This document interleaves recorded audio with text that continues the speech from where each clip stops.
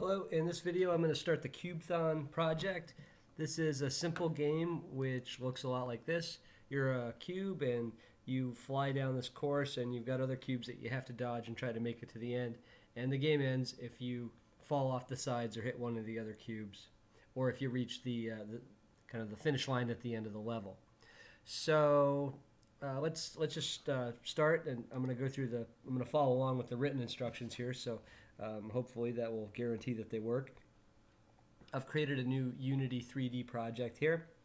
And um, but one of the first things you should do is start creating folders to help you organize the stuff that you're going to have in your project. As projects get bigger and more complicated, the number of assets in those projects can become overwhelming. So let's um, create some folders just to keep stuff organized. So I'm just going to right click on a blank area and say create a folder. I'm going to create a folder called scripts. This is where I will put my scripts. And let me create a folder called materials. Create a folder called materials. This is where I'm going to put some materials that we'll need. There you go. That'll just kind of help keep things organized. Now, um, let me just go make those materials because I know I'm going to need them later. Uh, I'm going to double click and go into my materials folder. And if I right click on a blank area, I get some options here for creating new assets. And material should be somewhere in there. Uh, do, do, do, do, do. Let's create a material. And I'll call this one blue. And if I go up here to the color picker, you know, I can just kind of pick a blue color. Uh, and those hex values may be useful at some point if you're trying to precisely match colors. But um, there you go. There, there's there's a blue, right? Okay. And now let's make another one. Create material and let's call that, you know, let's make a red material. And, uh, ah, why can't I rename it? Red. That's not very red, is it? Uh, let's go open that guy up again and see the, I don't know why he's not super red. He really ought to be a lot more red, red than he is. Um, not sure if it's the saturation. Why are the sliders not working? Uh, that's pretty red. There we go. All right. And, or maybe it's, I don't know. I'm colorblind anyway. Uh, all right, so let's create another material here. And I'll call this guy white. You know, or maybe we want yellow or gray or something. I can just leave them there. I'll make another one. You know, uh, gray. And let's go to the color picker here. If I kind of slide these down,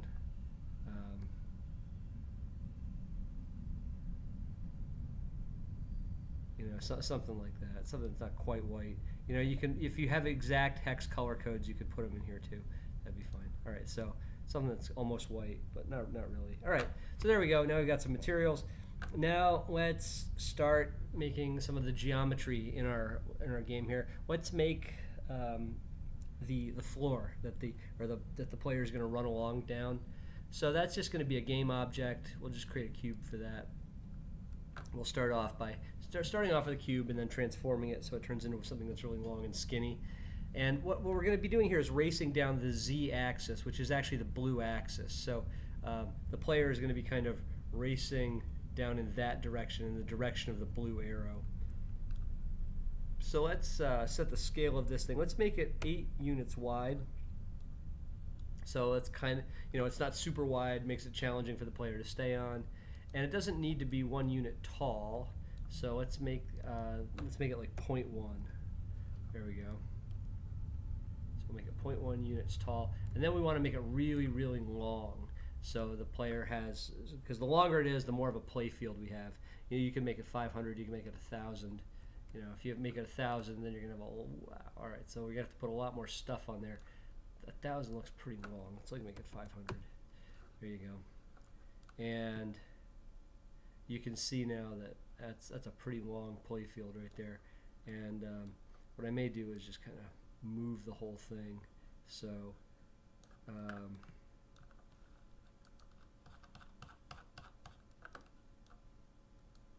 you know, some, something like that. So so zero zero zero is kind of right about there. Um, but anyway, so there's my play field. Uh, and you know what I could do is I could drag my gray color and throw it on there. Now that's now my my track is great. That's all you have to do to put a material on something is just kind of drag it onto there. Okay, so I think we're good there. now let's um, let's just add a cube for the player. That's go- oh, you know what I need to do though? Let's let's like give this thing a real name here. I'm gonna call this thing floor, and uh, let's set the tag on it. So everything you know should have a tag on it. A tag is just a name tag that allows you to identify that that object. So let me um, make a tag here. I'm gonna add a tag, and uh, I'll click on the little plus sign. I'll make a new tag called floor. And now when I go back to that object, I should see floor in the list of tags that I can I can select on that object. All right, so I think I think we're good there. Now let's add a a cube that's that's going to represent the player here. So let me put in another game object. This will be a cube. There we go. And let's see. Let's put him at 0, 0, 0 and see where he ends up. 0, 0, 0. And um, so that's pretty close. So we had our we had our terrain pretty much lined up at 0, 0, 0. And uh, let's raise this guy out of the um, the floor here. If you double click on anything in the hierarchy panel, um, Unity will kind of zoom in on it. I'm, I'm zooming in and out here with the mouse wheel. Uh, so this guy's kind of on the floor. He's sort of below the floor. Let's kind of lift him up a little bit. Ah, and then let's, sorry, I'm just not doing such a good job of navigating my scene here. We, oh, I'm going to throw up. Okay, uh, let's put this guy there and lower it just a little bit so it's kind of, you know, just above the terrain there, maybe even a little bit lower. Actually, if we put the thing at 0.5, it'll sit right on top of the terrain. 0.5, boom. Okay, now he's perfectly on top of the terrain. And let's put a color on that guy, or a material. So let's go to our materials folder. We'll drag red on that guy. So now our cube is red. A lot easier to pick out. Cool. All right. So let's add um, some tag. Uh, let's add a tag onto the player here. Player is a built-in tag. So now we've got our. Um, no, I tagged the wrong thing. That's. Uh, there's our there's our player cube. We want to tag that. Now it's tagged player. And what else do we need on this thing? Well, we've got a box collider. Um, let's name the thing player. There we go. So we've got a player object that's tagged player, and we've got the red material on it. Now we want this thing to kind of behave like it's got physics on it, like it's part of the physics system. Like it'll kind of lean left and right, and it'll it's affected by gravity. It'll fall off the edge of the um, the board, or if it hits something, it'll start to, to tumble or, or spin. So to make something part of the physics system in Unity, you have to add a component to it called a rigid body. So if I uh, open up the, or I click on the add component button, you see I get a little search window here. I can type in rigid body, and there I go. Now I have a rigid body component on that thing. So it'll behave as though it's part of the physics system. And you can see use gravity is already checked. Uh, now there's some options down here that we kind of want to expand on. Uh, we don't want this thing to, we, uh, to, to be able to rotate around its x-axis. So the x-axis is um, the red arrow here. So we don't want it to be able to rotate around the red, the red axis, axis. So let's just say we he can't do that. So what we're saying is, sorry, your x-axis is locked. So he can kind of move left and right. He could, uh, you know, move forward and backward, but he's not he's not allowed to rotate around that particular axis. That'll just kind of help stabilize him. All right, and then let's um, let's put, let's move this guy down just a little bit, and then let's get our camera positioned so that it's looking down at the player. So if I if I click on the camera here, you'll see I get a little preview of what the camera looks like. I'm going to drag the camera down the z-axis, so it's kind of right behind the player, and I can kind of lift it up. And then let's click on the rotate tool. So up here we have move, rotate, scale, just like in 3ds, and I can click on that axis and kind of rotate it down. So the, so the camera is looking down at the player. So the camera is actually going to track the player. We're going to put a script on, on, the on the camera to make it kind of uh, keep a uh, constant distance from from the player. Okay, so let's see if we can kind of get the player controllable now. And to make the player have some logic, we're going to have to put a script on the player. So let's go into our scripts folder and create a new script. I'm going to create a new C-sharp script. And I'm going to call it player. There we go. And I'll double click on it. And it should open up in Mono Develop, but it is possible to set Visual Studio as the editor. And to be honest, Visual Studio is a much nicer editor than MonoDevelop. Uh, it's just that MonoDevelop will work on Mac and Linux.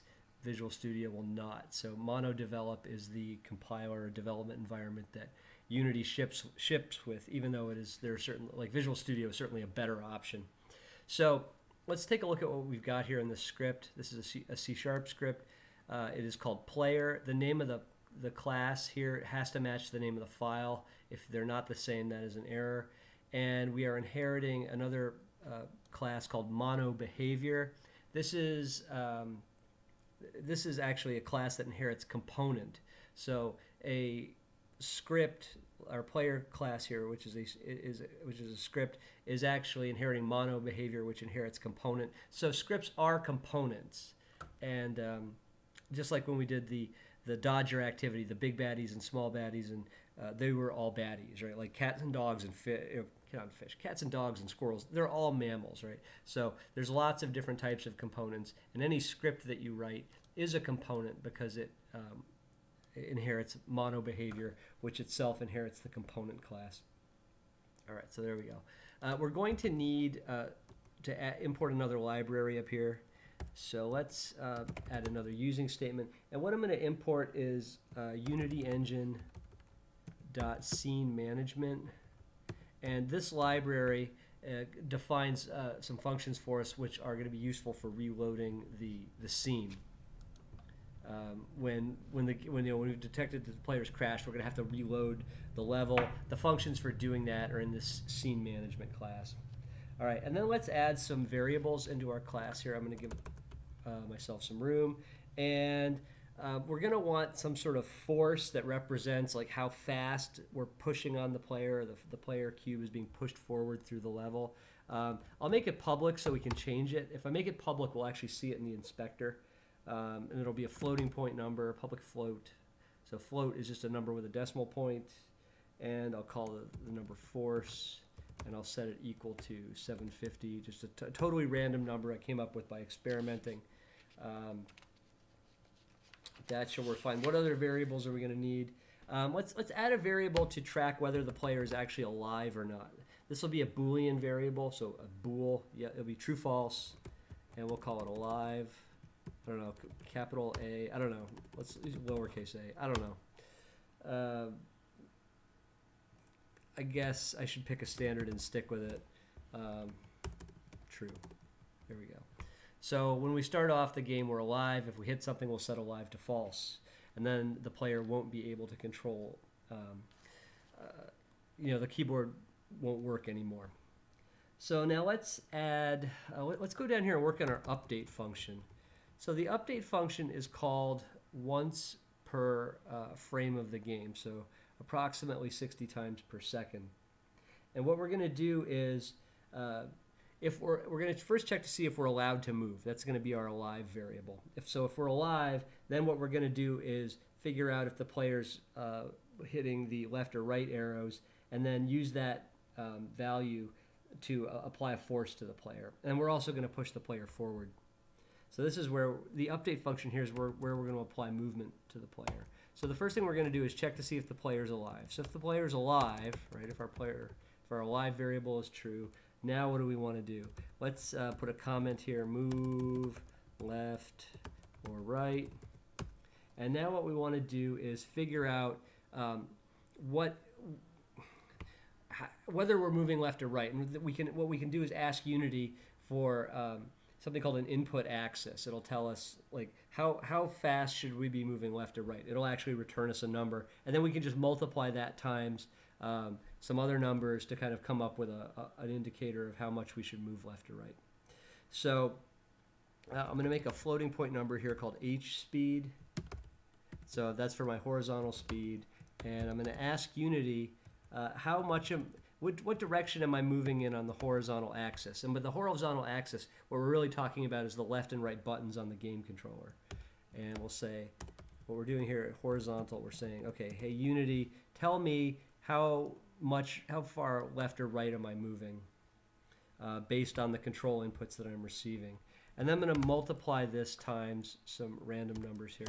Uh, not randoms, they, sorry, not, uh, um, some other numbers to um, put some um, to, to, to, smooth them out. So there's a, a, number that is, is built into Unity called time.delta time. This is a smoothing value. So the frames don't all run at the same speed. One frame could take really long to run, then another frame could, could run very quickly. And this is really the time that the last frame took to run. So if the last time frame took a, a long time to run, um, or a short time to run, if you multiply time.delta time uh, times your speed, it, it kind of smooths things out. So that's that's all you really need to know. And then I'm going to multiply this times 10. And I just by experimentation I found that 10 kind of worked, but you could change it to 8 or 9 and, or 11 and see see what that does for you. Okay, so that's we're, we're basically figuring out how how hard left or right is the player moving, and then multiply it times some numbers to smooth it out, and then multiply it some numbers to scale it up. And this is kind of how how, how much force we should apply to the player left or right. And now what we're going to do is move the player left or right by that amount. So to do that, we want to translate our objects left and right. Now if you go to the inspector here, you'll see that every object has a transform. So the transform object is what is actually responsible for the position of the object. So translation is, is actually a function that's built into the transform of an object. And you can see, so we've got a position right here. Transforming just means applying some adding some numbers to our position. So let's say transform dot translate, and then um, well, and then we've got three numbers here, x, y, and z. So our x-axis is our horizontal speed variable. Our, we're not going up or down at all, and we're not going forward or backward at all, right? So h speed 0, 0, 0. So that's going to move us left or right. Okay, and now let's move forward.